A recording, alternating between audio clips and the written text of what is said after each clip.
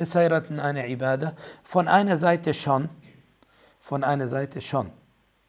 Heirat ist Ibadah, wenn du deine Religion schützt und wenn du dich schützt, weil der Prophet sagte, äh, äh, wer äh, heiratet, dann hat die andere Hälfte von seinem Iman vervollständigt.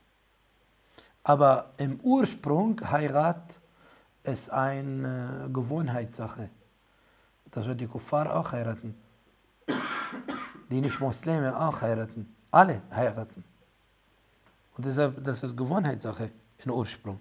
Aber wenn du heiratest, um deine Religion, um, um nicht in die Fitna zu fallen, um eine gute Familie zu gründen, um äh, dein äh, äh Iman zu stärken, dann inshallah bekommst du dafür Lohn. Wallahu ta'ala ala wa a'lam.